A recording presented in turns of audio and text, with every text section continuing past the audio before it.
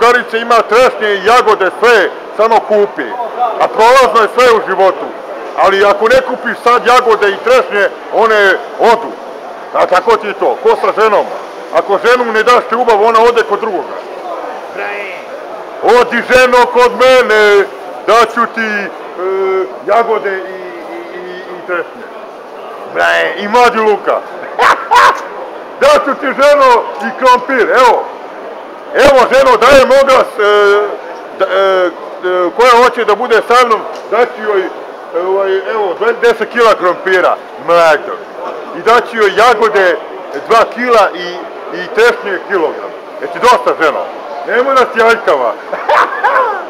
nemoj da si aljkava, nemoj da si zla, voleću te ja, ali sve do kraja vremena i, i posle. Evo ženo, evo kupit ću ti ženo paradajz, ali mi sisecka i napravi salatu. Ja ne mogu, ja, ja ne mogu da stignem. Ti, znači, dođi ženo kod mene i napravi mi e, salatu od paradajza i crnog luka. I, posle, i stavi malo ulja i, i posoli. posoli, posoli. Jeli, Kale, Zdravo, ili ideš na utakmice Partizana? ne idem. Ja sam u svom fazonu. Da. Svako ima svoj trip. Ne mogu da stignem, previše sam ovaj, opterećen ovaj, drugim stvarima, a ne mogu da stignem da se opustim. Tako ti je to. Borim se ja. E pa dobro, čekaj. Jagodice u grlu. Evo. Evo jagode. Evo, svi kupuju. Evo svi kupuju jagode. Ne.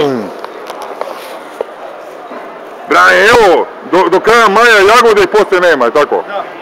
Kaže, ko pre devojci, ko pre jagodi, njegova jagoda. Sve prolazno u životu, ali kaže, ko pre devojci, njegova devojka. jagode, Bravo, jagode. Kale, jeste, a? A? Jel u pravu? U pravu si.